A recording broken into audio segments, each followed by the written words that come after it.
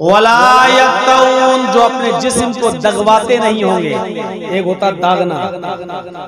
दागा जाता है जिस्म। एक होता है वो बड़ी नोक वाली चीज़ से लेकर अपना नाम लिखना या किसी और का नाम लिखवाना और इस तरीके से लिखवाना कि फिर वो साबुन आबुन से भी धुलता नहीं है, मिटता नहीं है। दगवाना। पढ़ी मकतबा शामिल। फतावा दायमा फतावा कमेटी के फतवे को। शेख हुसैमीन का फतवा देखिए। जो लोग अपने जिस्म को दगवाते हैं, ये दागना। लड़के ने लड़की का नाम लिख लिया, लड़की ने लड़के का नाम लिख लिया। ये दागते जो मिटता नहीं है। शेख साल हुसैमीन का फतवा है कि जो अपने जिस्म को दगवाता है दगवाता है, अगर वो मर जाए तो उसकी जनाजे की नमाज़ ना पढ़ी जाए।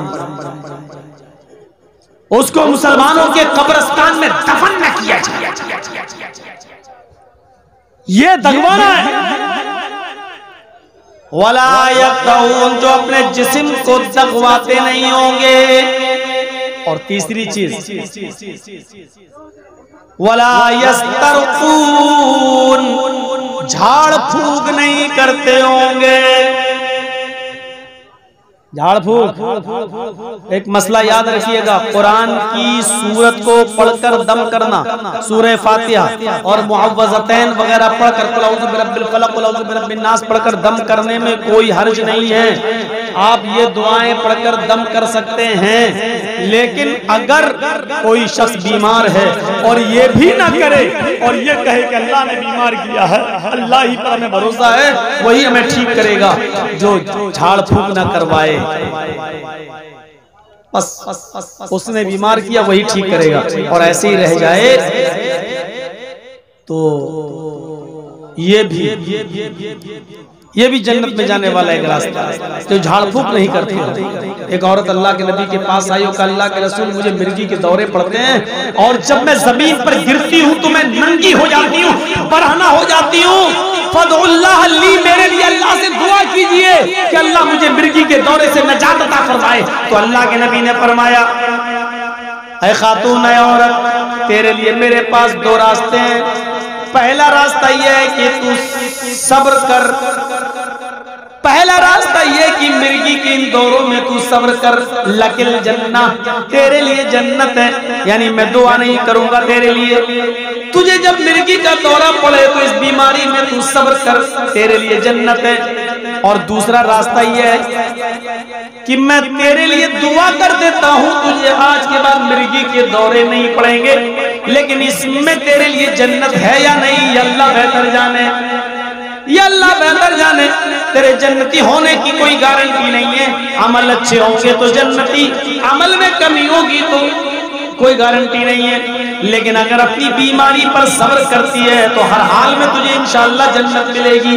तेरे सामने मैंने दोनों ऑप्शन रख दिए हैं। बता तेरे लिए दुआ करूँ और अल्लाह तुझे ठीक कर दे, लेकिन जन्नत की गारंटी नहीं है। और दूसरी चीज़, दूसरा ऑप्शन यह है कि तू इसी बीमारी में रह जा और बीमारी में सबर कर, लकल जन्नत, तेरे लिए जन्नत है। कहने लगी अल्लाह के रसूल, तब मेरे लिए दुआ मत कीजिए, तब मैं सब्र करूँगी। अगर सब्र पे जन्नत मिल रही है तो फिर मैं सब्र करूँगी। इस बीमारी पर इंशाल्लाह अल्लाह मुझे जन्नत देगा। लेकिन अल्लाह के रसूल, ऐसा कर दीजिए, मेरे लिए इतनी दुआ तो कर ही दीजिए, कि जब मिर्गी का दौरा मुझे पड़े और मैं ज़मीन पर गिर जाऊँ तो मेरा जिसम नुमाया ना हो, मेरा सतर ना खोले, मेरी शर्मगाह ना दिखे, मैं बेपर्दा ना हो।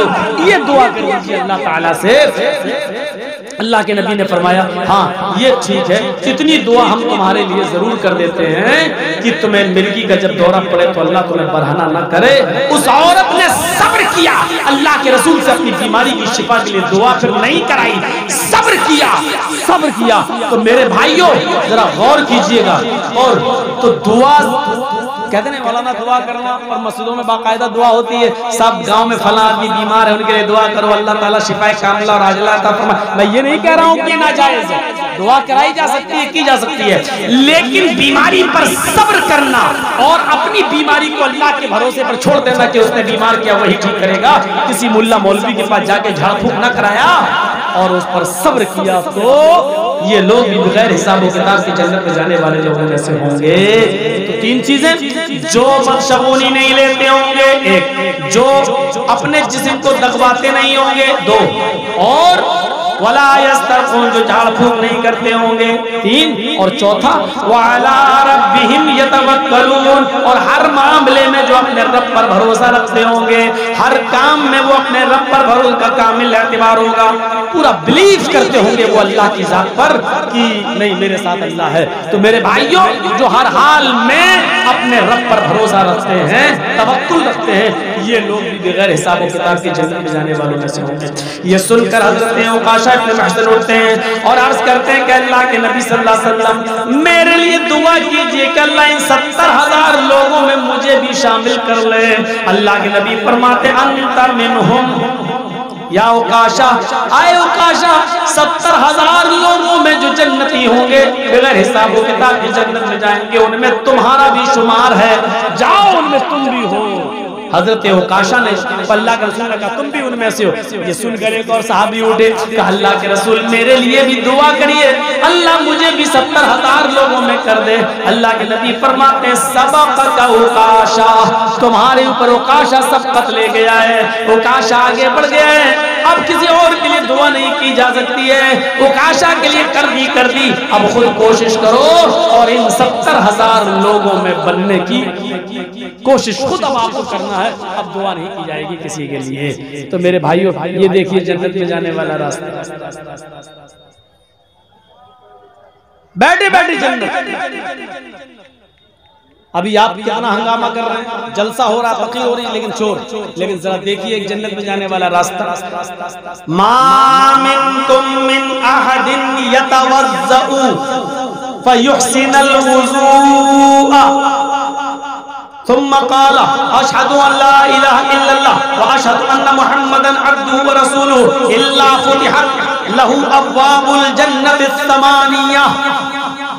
मुस्लिम शरीफ की हदीस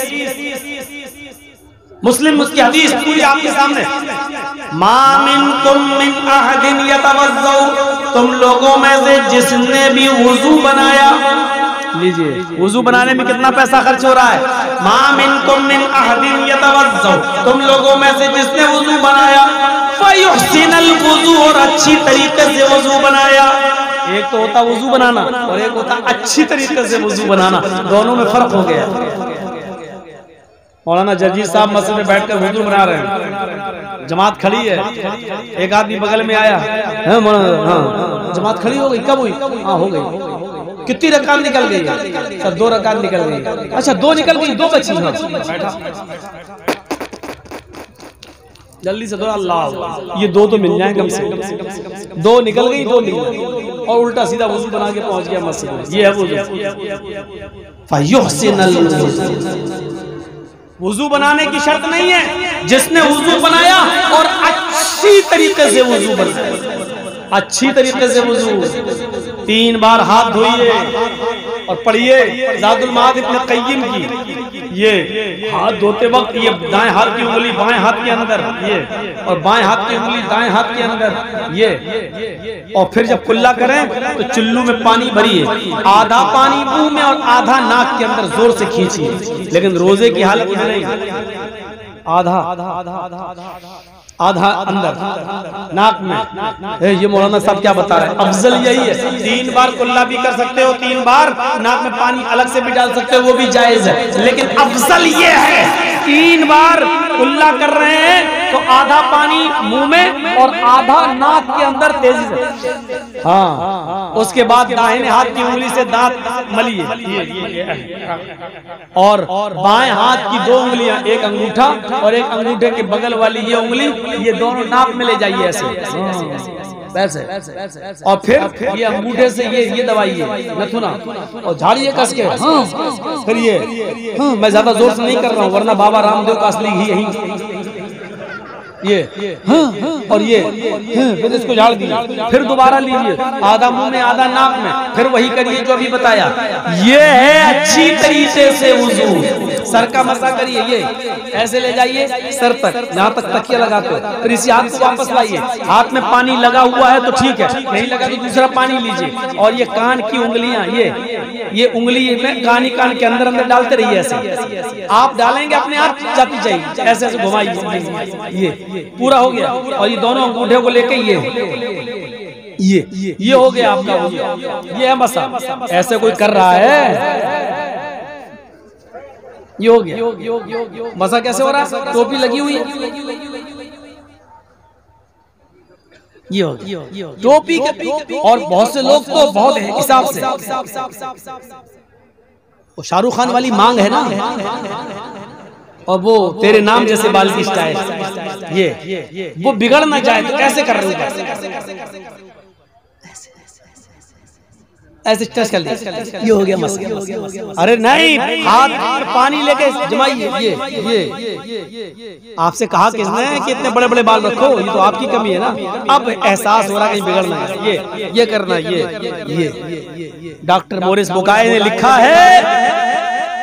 अगर कोई ऐसा वज़ू बनाने लगे जैसा मोहम्मद रसूलुल्लाह ने बताया है। आवाज़ ही चली गई ऐसा वज़ू जो आदमी सर का मसा वैसे करने लगे जैसे अल्लाह के नबी ने बताया है तो इस आदमी को ब्रेन हेमब्रेज की बीमारी नहीं होगी। और ब्लड प्रेशर की बीमारी नहीं होगी क्योंकि पानी उसके सर पे पहुँचता रहेगा उसका ब्लड प्रेशर नॉर्मल रहेगा। लेकिन आज हमारे ब्लड प्रेशर नॉर्मल नहीं है इसका मतलब हमें कहीं ना कहीं तो चूक हो रही है हमसे। वज़ू जिसने अच्छी तरीके से वज़ू बनाया, और वज़ू बनाने के बाद जिसने ये दुआ पढ़ी, अशहदु अशहदु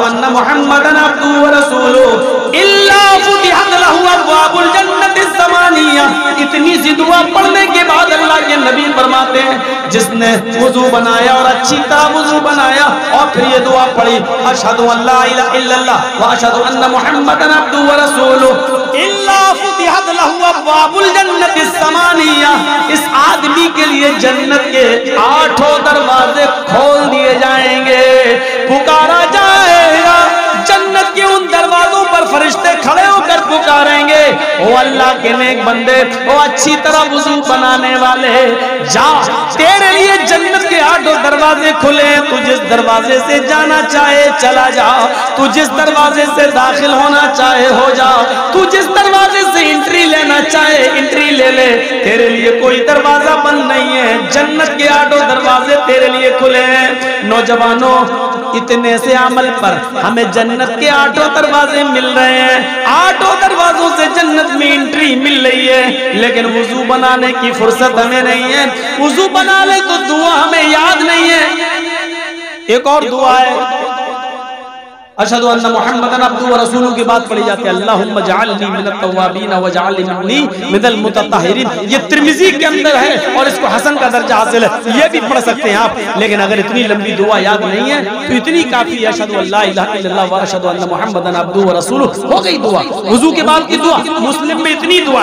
और इतना पढ़ने पर जन्नत के आठों दरवाजे हमारे लिए खुल रहे हैं। एंड्रॉइड मोबाइल फेसबुक और व्हाट्सएप पे अपना टाइम बर्बाद करने वालों, इतना सा टाइम हमारे लिए नहीं निकलता है कि हम वज़ू बना लें और वज़ू के बाद की दुआ पढ़ लें और जन्नत के आठों दरवाजे हमारे लिए खुल रहे हैं। जन्नत चली आ रही है हमारी तरफ़, लेकिन हम भाग रहे हैं उस जन्नत से। जन्नत कह रही है आओ, मेरे अंदर प्रवेश कर जाओ। और हम जन्नत में घुसने के लिए तैयार नहीं है। हमसे बड़ा बदनसीब कौन है?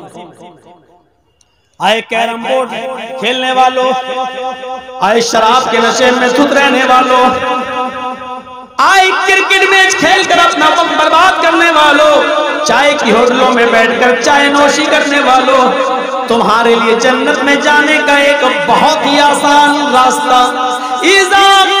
कालल मुअज्जिनु अल्लाहु अकबर अल्लाहु अकबर फकूलू अल्लाहु अकबर अल्लाहु अकबर जब मस्जिद की बुलंदी पर खड़े होकर मुअज्जिन आजान देते हुए कहे, अल्लाहु अकबर अल्लाहु अकबर तो तुम भी उसकी अजान के कलमात को दोहराओ। तुम भी बोलो, अल्लाह अकबर अल्लाह अकबर। वैजा काल मुअज्जिन अशहदु अल्ला इलाहा इल्लल्लाह। फकूलू अशहदु अल्ला इलाहा इल्लल्लाह जब मुअज्जिन कहे अशहदु अल्ला इलाहा इल्लल्लाह तो आए टाइम बर्बाद करने वालों होटलों पे चाय नोशी करने वालों पान की दुकानों में बैठ के वक्त बर्बाद करने वालों तुम्हारे कानों में आवाज़ जा रही है अशहदु अन्न मुहम्मद, अशहदु अल्ला इलाहा इल्लल्लाह। तो तुम भी कहो, अशहदु अल्ला इलाहा इल्लल्लाह। और जब मुअज्जिन गए, अशहदु अन्न मुहम्मदर रसूलुल्लाह। फकूलू, अशहदु अन्न मुहम्मदर रसूलुल्लाह। तो उसके जवाब में तुम भी यही बोलो, अशहदु अन्न मुहम्मदर रसूलुल्लाह।